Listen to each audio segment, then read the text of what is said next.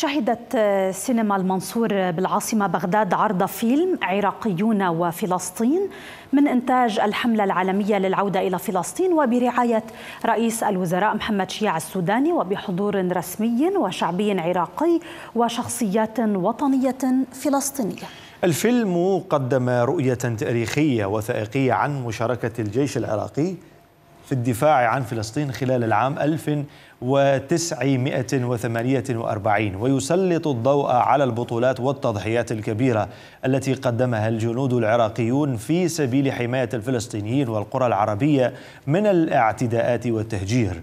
ويجمع الفيلم بين مقابلات مع شخصيات أكاديمية وشهود عيان وزيارات للمواقع الأصلية للأحداث.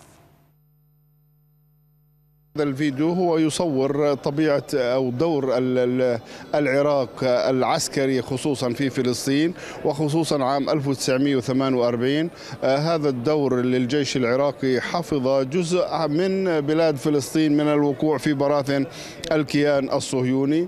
منطقة جنين استعادها الجيش العراقي وهناك ما زالت إلى الآن قبور شهداء الجيش العراقي موجودة في جنين وموجودة في قلقيلية وتلكرم وأنا زرت زرتها بنفسي.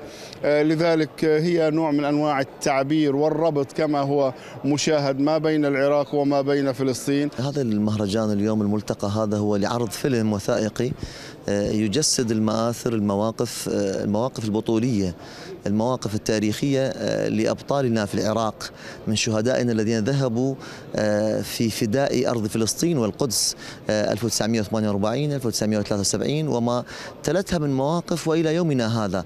والعراق يعني معروف بالتاريخ يعني أن يقف دائما يقف مع قضايا الأمة المصيرية مع قضاياها الكبرى. ومن أعظم هذه القضايا هي القدس يعني. التضحيات اللي قدمها الجيش العراقي لا زالت مقابر الجيش العراقي موجودة في فلسطين في مدينة جنين.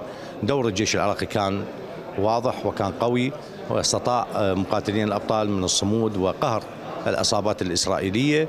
أكيد إحنا كقوات مسلحة وجيش عراقي نفتخر بأن يكون لدينا آباء وأجداد مؤسسين في الجيش العراقي. كانت قضيتهم هي فلسطين وأيضا كمؤسسات عسكرية وأمنية وقوات مسلحة. نعتبر فلسطين حقيقة هي بالدرجة الأولى لدينا وليس هناك فرق ما بين الشعب العراقي والشعب الفلسطيني.